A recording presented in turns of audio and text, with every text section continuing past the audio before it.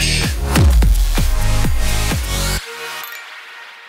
Rushers! Sejam todos muitíssimamente bem-vindos a mais um vídeo aqui no canal Brush Rush. O meu nome é Guilherme Freitas e estamos em mais um vídeo da série Desafio Personagens. O tema dessa semana foi Bruxa Moderna. E hoje à noite é o dia da live conferindo a arte de vocês e escolhendo algumas para dar aquele feedback e fazer a minha versão para dar aquelas dicas para vocês. Então fica ligado, não perca.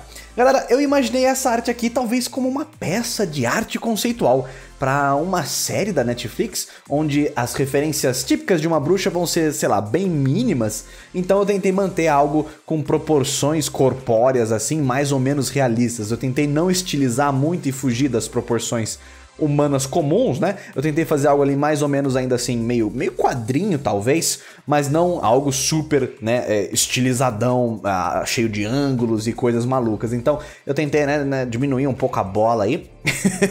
eu fiz coisas bem mais malucas em outros desafios, mas nesse eu tentei ser um pouquinho mais realista e vamos ver o que que acontece, não é mesmo? Eu já conferi algumas artes de vocês lá no Instagram com a hashtag Desafio Brush Rush e só tem coisa maneira, pessoal. Então eu fico super feliz aqui com a participação de todos vocês mais uma vez em mais um dos nossos desafios. Muito obrigado mesmo aí pela sua participação, pela sua inclusão, pelo seu desenho. E eu fico feliz de ver vocês trabalhando, produzindo, se desafiando, se desdobrando para fazer algo diferente, mesmo que seja algo muito complicado e difícil. E falando em coisas difíceis, né? Uma das partes mais terríveis para mim desse desafio é a criação de roupas, pessoal. Não só na questão de detalhes, mas realmente né, no que poderia combinar para que uma pessoa real utilizasse no, no quesito look completo, né? Não só tipo que bota, ou que roupa, ou que casaco, ou coisas assim.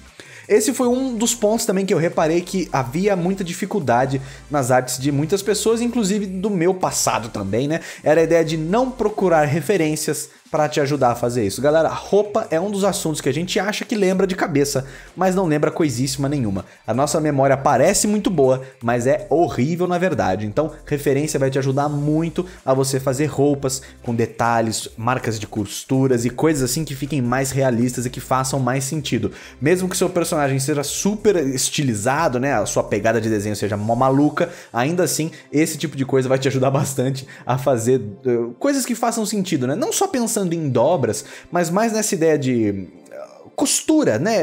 Moda, essa outra etapa, né? essa outra coisa que existe na vestimenta das pessoas, né? Existe toda uma indústria muito complexa, né? Que envolve ali a, a, a formulação de que tipo de roupa está sendo vendido em que tipo de época da nossa vida, né? Aqui como um ser humano. Assim como seria meio maluco você tentar inventar um modelo de carro sem ter muita experiência com isso, né? Seria muito mais fácil você pegar os modelos de carro daquele ano e tentar desenvolver alguma coisa. Por isso que uma das minhas minhas maiores fontes de referências para essa arte aí foi o Pinterest, onde eu cacei fotos de coisas que tivessem a ver ali com roupa, com inverno, com coisas assim, que é um dos pontos que eu vou chegar mais à frente aqui no porquê que eu escolhi esse tipo de referência para fazer essa nossa personagem da bruxa moderna. O meu primeiro objetivo aqui com esse rascunho desse desenho era tentar encontrar uma pose interessante. Eu sabia que o Kylie era sentada fazendo alguma coisa. A princípio eu não sabia muito bem o que que era. E nessa primeira pose que eu fiz, eh, eu achei ela um pouquinho engessada demais, né? A coluna estava muito ereta, os braços estavam meio que ali pendurados, né? Eu tentei refazer isso então, deixando as coisas um pouquinho mais soltas, com mais atenção pro que acabou sendo o foco da imagem, né? Ela conversando ou observando ali, né, surpresa com uma coisinha alminha, um espíritozinho, sei lá o que é aquilo, uma alminha raivosa, alguma coisa que ela summonou ali, não sei. e eu cheguei a ouvir isso, pessoal, muito em publicidade, né? Essa ideia de que em um processo criativo, a sua primeira ideia tende a não ser a melhor.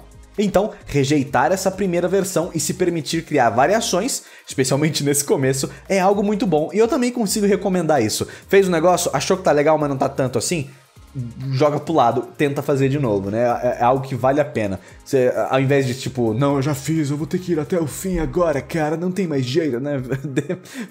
joga isso pra lá. Sobre a questão das roupas que eu tô fazendo a minha personagem utilizar, eu lembrei muito do filme A Bruxa, de 2015, eu não sei se vocês viram, eu vi no cinema com a minha namorada, eu e mais cinco pessoas, cinco, uh, outra, né, assim, um clima de terror incrível, e o ambiente nesse filme era algo muito importante, né, o filme todo acompanha essa família que foi morar próximo a uma floresta e longe do vilarejo onde eles moravam, basicamente eles foram exilados, né, e a floresta é uma área longe da igreja, longe de tudo que é civilizado, longe do calor natural natural daquela cidade, da, da, das pedras, né? Existe um senso de segurança associado com um grupo de pessoas que moram juntos.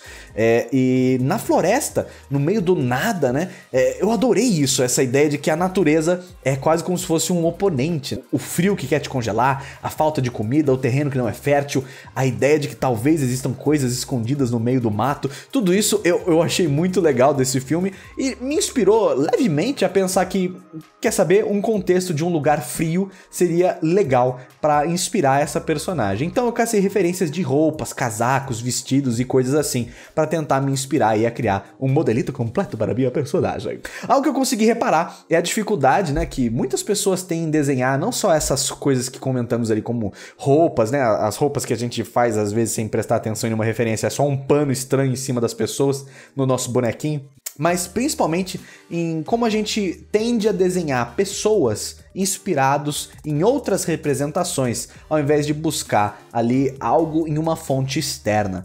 Seja, sei lá, tipo, uh, gente que você conhece de verdade, alguém que você viu na rua, uma série de fotografias, de retratos com pessoas interessantes, diferentes, sabe? Essas outras coisas que a vida, né, toda na sua pluralidade completa pode oferecer pra gente se influenciar na escolha de a criação de uma pessoa fictícia, né? Isso que é um personagem muitas vezes. É uma pessoa de mentirinha. Mas ainda assim, ela é muito mais uma representação do que você considera uma pessoa de mentirinha do que necessariamente é, o mundo em si si.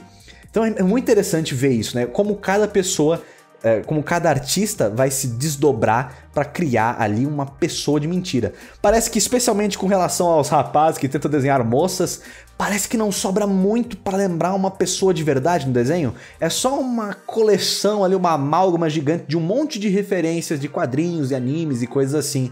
E eu sinto que existem tantas outras fontes mais próximos da gente mesmo que poderiam nos inspirar, seja pessoas, é, é, amigas, né, outras pessoas, colegas, gente que você viu na rua e achou bonito, e achou legal e falou: "Nossa, como que eu poderia transformar essa inspiração dessa pessoa numa, numa personagem?". Eu acho que tem tantas outras fontes que a gente pode se basear para tentar criar pessoas fictícias que pareçam mais verossímeis, né? E eu acho que esse foi um dos meus pontos aqui com esse desenho, uma das coisas que eu tentei me desdobrar para fazer nesse processo era tentar fazer alguém ali que você podia falar, hum, eu acho que essa pessoa tem alguma chance de existir, né? Mas esse foi o meu objetivo pessoal com esta arte em específico. Eu tenho certeza que muitas pessoas fizeram coisas sensacionais também pensando em outras, outros tipos de aproximação, né? Como é que eu posso fazer ali um personagem estilizado que represente toda essa parte de bruxa, mas que ainda tem esse conceito de modernidade. Eu acho que eu acabei fugindo um pouquinho até mesmo da minha própria, né, eh, do meu próprio desafio, acabando encontrando um outro desafio dentro do desafio,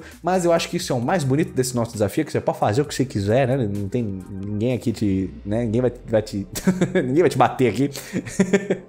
E com relação ao estilo de finalização, eu queria fazer algo que fosse rápido, né? Para não me perder muito tempo ali com um monte de render, né? De luz e sombra e texturas e dananã. Então eu optei ali por contornos rápidos, né? Um contorno que eu ia fazer sem muita loucura e também a coloração de um pouquinho deles mais no final do processo, algo que lembra ali talvez uma finalização de HQ ou de quadrinhos.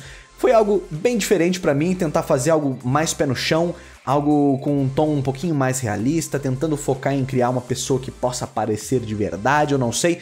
Foi essa aí a minha experimentação com esse tema. Espero que fique aqui uma reflexão legal para vocês. E essa é a nossa bruxa moderna, pessoal, ali com seu pote de olhos, alguns livros de magia e, lógico, ali um espíritozinho, eu não sei o que é aquilo ainda, você que me diga o que, é isso. eu gostei bastante de fazer esse desenho, pessoal. Espero muito ver a arte de vocês, então não se esqueça, o nosso nossa live com reviews e feedbacks é hoje à noite. A gente se vê lá, galera. Muito obrigado, valeu e falou!